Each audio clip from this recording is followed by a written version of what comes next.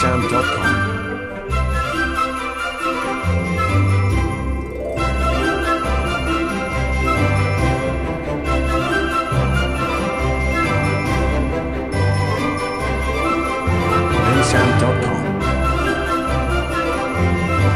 Hello and welcome to jolly old England.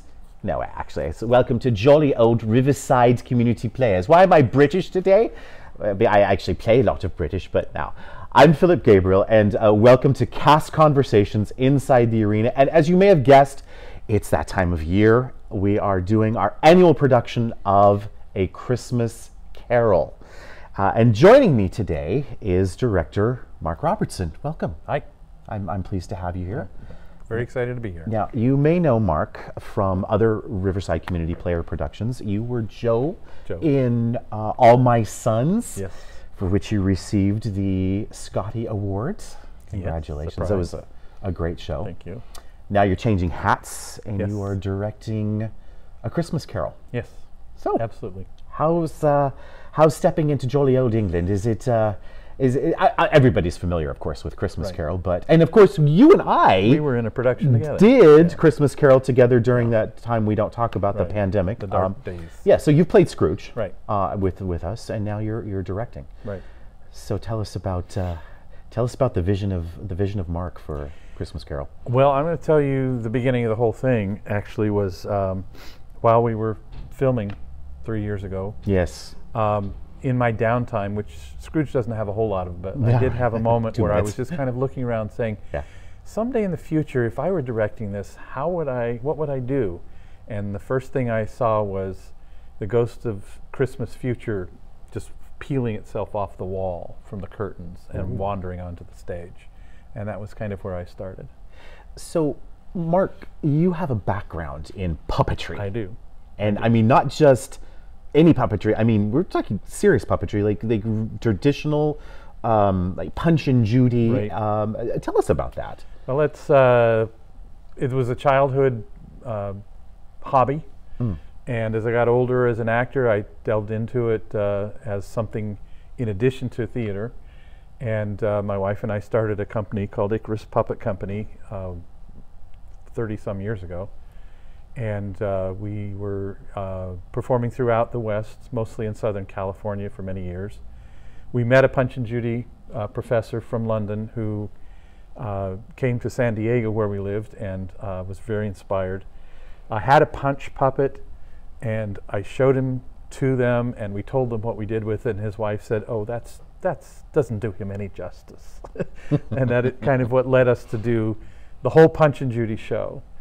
And uh, I've been doing that uh, for 30 years now and uh, most lately performing at the Dickens Festival here in Riverside. Yeah, I have I have seen you do that, and I I think there was a time during uh, uh, we were doing outdoor shows here during pandemic. Right. I feel like I saw one of your shows there, and I was excited to see it because it was in English. Yeah. I think I may, mostly I think Punch and Judy I've seen is like French or German or something. Well, It's Pulcinella or Uh, yeah, yeah. Pulcinella. or maybe, maybe it was all, Italian. They're all the know. same guy, but Right, uh, right. yeah, slightly different character. So that that was that was a lot of fun. So you're a, a San Diegan? Is that uh, you're uh, recently come to Riverside or Recently, seven years in Riverside. Okay. Uh, we, we lived in San Diego.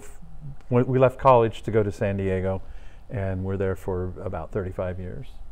And uh, that's where we started our careers outside of college as actors and and uh, producers of children's theater. Oh, okay. And eventually the the pu- the uh, puppet company. So one of my actually that's one of my hometowns. What what organizations were you involved with in San Diego back? Well, we were in the um, as well as an actor. I act, I acted all around town um, in the um, early '80s, mid '80s, um, and uh, I was in many theaters that are now closed and dark yeah, because that happens in the cycle. it does. Well, I remember I mean, just from attending theater. uh, Mm-hmm. You know, as a as a young person there, there were a lot. There was a thriving, not only like small like community theaters, but there were dinner theaters that seemed like all all over San Diego. Mm-hmm. There were, was, uh, yeah. kind of a rich landscape for actors. I did that. do one dinner theater production there, uh, and the theater closed shortly afterwards. Oh dear. um, did some professional work. It's mostly semi-professional. Yeah. And uh, it is true that San Diego, like the Inland Empire, has is replete with small theaters, and there's always new ones growing up, and then they move a little higher in the in the in the echelon of theater, and some of them keep going, some of them go away. Those actors regroup and come back to another theater. It's a very fluid and very exciting environment in theater in any community I've been in. So through throughout this whole your whole time in acting and, and performing in San Diego, puppetry has kind of been a something that you've always done in addition, or is it kind of a thread through? It started off as an additional thing, Uh-huh. and it became then our sole focus for 18 years. Um, Oh, I see. we, uh, okay. we survived. Uh, we were a, a, a nonprofit organization, and we survived things like uh, 9/11, where everybody's funding priorities flipped Mhm. from the arts to only social things. Mm.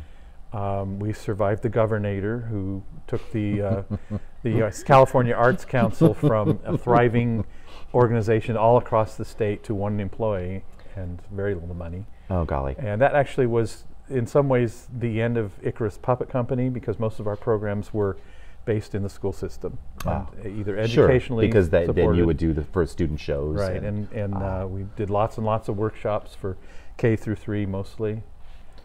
In all the years we were there. I I'm getting the impression that maybe we're going to see some puppets in the Christmas Um, Carol. Yeah, I think puppetry there. so. Absolutely. I'm excited to see it. Yeah, that's one of the things that I, uh, when I uh, uh, applied to be the director for the show, that was my key thing.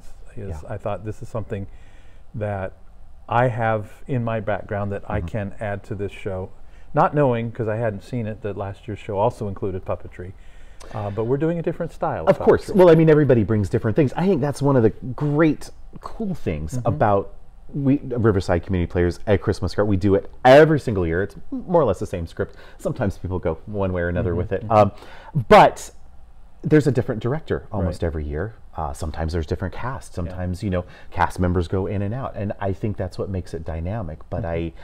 Uh, what I hear from the community is that uh, we've become such a part of uh, people's Christmas tradition Right. that they, they look forward to seeing what we're going to do with it this year. So I'm excited to see what, what some I'm of the puppetry. really excited what's going to Yeah. happen. Can you can you give us a little maybe a hint? No. Of, no. Okay. Like theater theater magic. We can't we can't definitely. talk about. Yeah. Um, Are we going to see something peeling off a wall? Maybe. I- I- we're gonna like, we're gonna do our best to recreate my original I'm, vision. I'm, I'm trying to get it out of him. it so inspired me at the time that I thought I have to try really hard to do that. Yeah, yeah. And I have some really fantastic performers. Uh, one of the performers that I worked with in the past, Mario Adurius, is Oh yeah. uh, in All My Sons. right. Is uh, also has an interest in puppetry, just as a kind of a little side Right. interest in his head. And I've, he's worked one of my puppets before in another in a video production that was done here um, during that same period. And I thought of him when I, he came to audition. I thought he could be my Ghost of Christmas Future. Oh, okay. He's a tall and imposing character already, Yeah. and adding, uh, I will give you this, another two feet and a half on top of that. Really. Yeah. Wow. Yeah, Okay. Christmas Future, I hope, will scare everybody a little bit. Oh, I'm looking forward to it. I, I I'm- hope so. I mean, there's always the, uh, there's a dark element of of uh, Dickens' A Christmas Carol. It really is, and, and I think that's that's part of the fun. Well, It- it's a ghost story. It is a ghost story. Uh, ultimately, it's a ghost story. I, I've also discovered something else that it's about time travel, which I'd never really thought about, even though it's past, present, and future. I never really clicked until recently. right. Yeah. But it's mainly it's a ghost story about redemption. So, if you had one thing to say that it was your, your biggest challenge in for this particular uh, production in space or whatever, um, and I always, for me, the arena is i it's challenging. It is. It's fun. It's challenging. is. It's exhilarating as a performer, but as a director, It's- it definitely poses a challenge. Was there was there a particular thing that uh, maybe stuck out with you? Honestly, honestly, I haven't been challenged so much because I have experience acting in the in the arena. I Yeah. kind of knew what to expect. Yeah, yeah. And but having uh, several young people in the cast who have never been anywhere but on a proscenium stage, that has been a challenge. Is trying to convince them, yes, you can stand in one place and be seen by most of the audience when you're, Right. you know, surrounded by an audience. Yeah. But I have the benefit also of having uh, several um, more experienced actors who've been on this stage many times, and uh, I have asked my younger actors to watch these actors because they're they know how to handle the arena setup, so they know how to make sure you're seen by the people who are directly behind you as well as the people directly in front of you. Right. And it's uh, that's been the biggest challenge, definitely.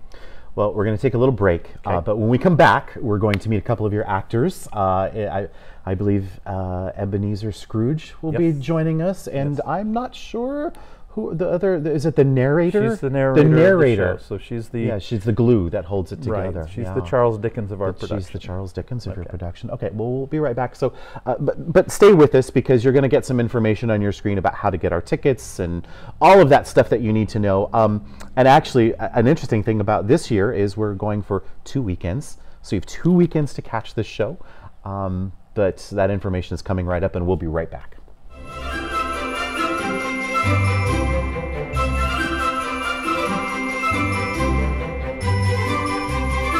bensound.com.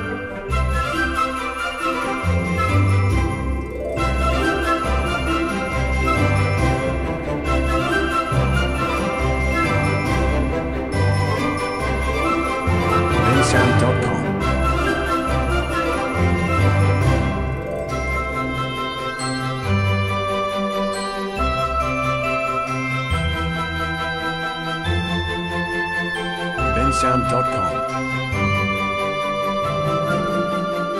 And we're back, and I hope you got a lot of good information there about how to get tickets for uh, Christmas Carol.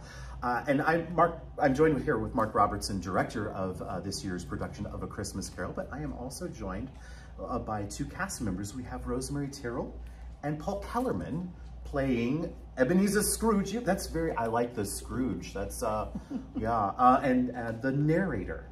Welcome, welcome. Thank you for having us. Well, I'm, thank you for uh, coming here to Riverside Community Players. Now, um, Paul, is this your first production here at? Uh, Actually, no. I played Scrooge last year, so You I was in. I was, Scrooge. So this is I'm right. reprising the role. Okay. Which is, uh, it's my second production here at Riverside.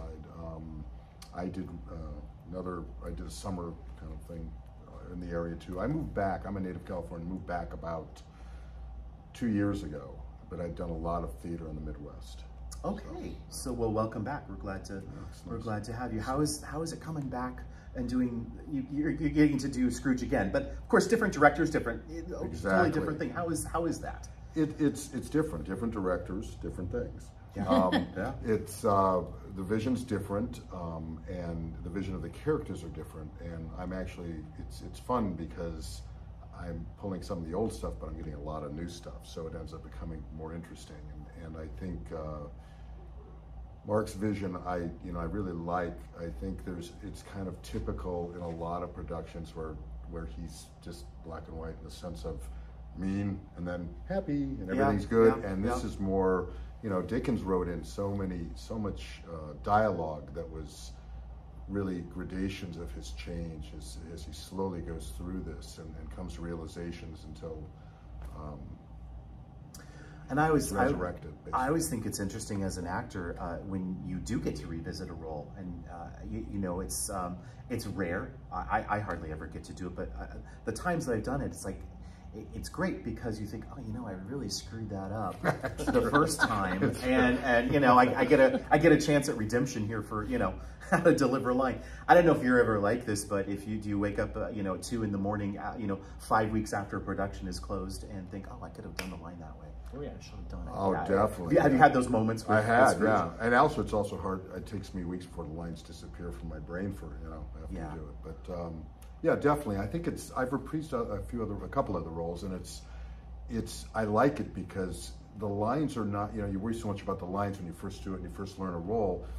Well, I don't worry as much about the lines because I know a lot of them, but there's been some new ones. Yeah. And then I get a different take on it. Ooh, that's a different way to look at it. I'll deliver it differently, you know, and than I did before. Now, locally, let's see, you did some uh, work at Redlands Theater Fest I did. this summer. Yes. Uh, Arsenic and Old Lace. I was in Arsenic yes, and Old Lace. I saw that. Oh, did you? Yes, I Did did. you? I enjoyed it very much. Yeah, Uh, and you were in another production it there. They they did they did Chekhov's uh, uh, the Seagull. The Seagull, I had, I had a right. small role in that, but um, Arsenic was just a, just uh, I was running up and down stairs. yeah, I saw that. That was a lot of fun. Teddy. Yes, taking charge. Charge! well, it gets your, gets your steps in, right? Oh, As, as a, definitely. a cardio. I, I did I did staircases six times each show. Yeah, and those are some big staircases. It's a huge, it's a huge It's also really fast to go up the stairs. You know, you're climbing. Yeah. But no, I enjoyed it. It was uh, it was interesting. It's a, it's a, it's a nice venue over there. I really like it. Yeah, it's fun. Under the stars. Mm-hmm. Spring mosquito repellent, right? That, no joke. That's Seriously. the truth. Um, Rosemary, uh, welcome. Uh, now, is this your first production here on stage as a? Yes, Yeah. it is my first time with Right. the Riverside Community Players. Oh, welcome, welcome, welcome. And you're playing the narrator, That's correct. which is probably one of the probably the most important role because if you skip a line, we've got scenes that are completely left out, right? no stress, right? No pressure. no pressure. Um, tell me about that. Is it uh, has it been fun to kind of be the, the the glue that's holding this thing together? Really? I really love Christmas Carol. Uh, been part of my Christmas tradition to read it cover to cover every year for many, many years. I love the language. I love the richness of the characters. And yes, it, it is uh, different doing a play, a performance version of it. But I think one of the biggest challenges is making sure that you do justice to the written word because Dickens was so brilliant. It's very true. I mean, obviously, a master wordsmith, uh, you know, as, as as Charles Dickens can be, and there's a lot of the original language in this in this Yes. script that's kind of lifted directly from it. Um, when you are uh, doing something like that and, and coming between all of the all of the realms, do you do you get a sense of of the overall picture of it, or are you looking from scene to scene uh, as as you're running? I do. I do feel like I get uh, an overall picture of what's going on, and even at times when I'm not in the scene, I'm still sort of in the background. Yeah. So I do feel a part of every scene, and yes, it's. Uh, it, but I also do have those moments where it's like, okay, which ghost is this? Past, present? Yeah, which one? yeah, yeah. Which one am I supposed to be talking about right now? So yeah, there is that. That's just nature of rehearsal too, of not always re- rehearsing everything in the right order, and then just learning it. Yeah, yeah. Now, uh, I don't know if this you may not know this, but um, it's a it's a husband and wife team. Mark and Rosemary have been married. Uh, we were just talking about this 30, 30 some odd years. 38 30 years. 38 years. So you're like uh, you're like the um, uh, Paul Newman and Joanne Woodward of Riverside Community Players, like I John wish. Krasinski, Emily Blunt. You know, the the family that acts together, works together, and, and directs together. Mm-hmm. Right? Uh, that's neat. So I have to ask you now, and Rosemary, this is just between you and I because we we're not going to share this with anybody All- else. yeah, you guys. how how is it working with Mark as the director? Well, uh, for 18 years, Mark and I worked together on uh, our Icarus Puppet Company, which he talked about earlier. Uh, we, we, what he didn't say was we did full-scale plays with Oh, puppets. okay. So uh, we worked together virtually every day for almost 18 years. And people would ask me all the time, how can you stand being around your husband all the time? My answer was always the same, we like each other. You like each other. Yeah. Oh, that's a lot of fun. So is this the this? Well, obviously it's first your first time at Riverside Community Players, but your uh, first time working together in like live theater. You know, not not puppets or no. No, You've done you've done things before. We, we ran, before the puppet company, we ran a children's theater Oh, where okay. we did plays Yeah. and have done other shows together when we were in uh, college. Yeah. And it's, but it's, the big thing for me is it's been a really long time Yeah. since I've done any performing.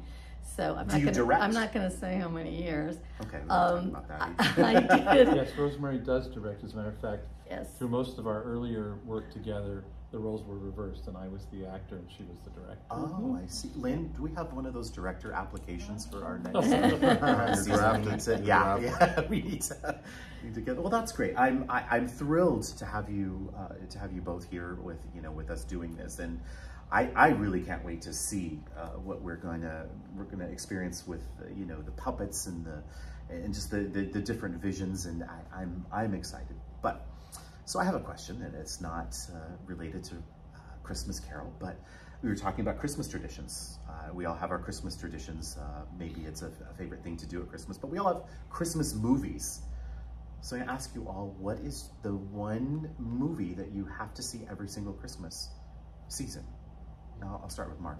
Oh, you should have gone with me last. I'm, Oh, okay. No, I- I'll, I'll do my Put me on the best spot. here. Um, honestly, in a different in a different life, I would have said Mr. Magoo's Christmas Carol because that was Oh, that was my yeah. very first version Yeah, yeah. of Christmas too. Carol. But my uh, uh, I do love um, the a lot of the, the later versions of the film of Christmas Carol, the musical, the Patrick Stewart version. But I Oh, also, sure. I That's a also great- love other things, and one of my favorite all-time Christmas stories is the Charlie Brown Christmas. so that's an every year. I think so. When That's I an every year I sort of love the music as well as just the, the message of the of the whole Yeah. the little story. Yes. And for you, Ebenezer, what is your what does what does Scrooge watch every Christmas? I could be very serious about this, Yes. but really what I love is I've, I'm actually a musical theater person generally, I and see. I sing and I've sung in a lot of um, chorales and things, and I still love White Christmas. Oh. I just love that movie. Interesting. It just feels, it's just about the heart. Yeah. You know, that's it. Just I love it. Sisters, Sisters. So you get theater people together, and we're gonna we're gonna bring, we can't we can't do too much. We're gonna get shut I'm a, for I'm a, I'm, copyright. I'm, a, I'm a bass, so that doesn't quite work. Life is a song. Yeah. you know, interesting trivia. Did you know that White Christmas was actually written in Banning, California, just down the down the road? Right. Ir- Irving Berlin was in Banning, California. he was. I Yeah. did not know that. Yeah. Wow, that's interesting. Yeah, he was. Uh, What was he doing in Banning? on his way to Palm Springs or something. And Oh, there, probably. There was uh, at that time there was a huge uh, ho- hotel uh, that lots of uh, film and The uh, Morongo of its day. huh? it was yeah Yes. yeah just no no gambling, but yeah, Yeah. interesting Yeah. thing. There was, Interesting. there was gambling. Well, maybe yeah, Yeah, maybe. Just not Just in the basement. Yeah. Rosemary, what is your uh, what is your go-to Christmas? I love so many Christmas movies, but my absolute go-to is Christmas in Connecticut. Oh, And I know it's a movie that a lot of people don't even That's know. uh, Monty Woolley is in it, isn't It it? is. Yeah, yeah, and, it Sheridan is, and yeah. uh, uh, Barbara Stanwyck. Okay, that's uh, right, It yeah. is a really wonderful story, and I love it. It's about a Martha Martha Stewart character who's faking it. She doesn't know how to cook. She doesn't know how to. She doesn't have a farm. She's not married. She doesn't have a baby, and her uh, her editor invites himself to Christmas in Connecticut. That's who plays? the whole Who, story. who, who plays her? Barbara Stanwyck. Oh, it's Stanwyck. Stanwyck, Oh, yeah. she was Sydney amazing. Greenstreet. Yeah, Yeah, Sydney oh, Green that's- Street. yeah. Did I miss that? Did great, say before? great Yeah. character actors in that. Yeah. Well, you've heard everybody's uh, traditional Christmas, uh, what they like to do for Christmas and uh, movie-wise or play-wise, but we definitely want to thank you out there who make Riverside Community Players annual production of A Christmas Carol part of your Christmas tradition. And we've done it now, I, and I should have looked this up because uh, Kathy Gage is going to be watching and say, and, and you'll correct me, I know, but I want to say 15 to, oh, somewhere between 15 and 20 years. We've been doing it every every single year. Um, and you and you you make us part of your holiday tradition, and, and you come to see us, and we we sincerely appreciate that. So, anyway, well, thank you guys very much. I know this is your first run through tonight, so I'm gonna I'm I'm gonna let you go and, and get uh, and I know Mark wants to crack the whip uh, and Yeehaw. get, get get going. uh, thank you very much. We're looking forward Thank to you. seeing it. I appreciate um, I appreciate you taking the time to to speak with us this evening. Thank you. Great. Thank you. So, Christmas Carol uh, is opening what date? Uh, Oh, the just- the eighth, the eighth, December eighth. December eighth, and we're running tonight. for for two weekends. Get your tickets. Yeah, Yeah. great. Anyway, Cool. thank you very much uh, for joining us on Inside the Arena. Uh, I'm Philip Gabriel, and I also have to say a shout out to Lynn Innes, who's always the thankless person behind the camera, who puts all of this together and uh, makes this happen. Thank you very much, and we'll see you uh, at uh, opening night of Christmas Carol. Merry Christmas.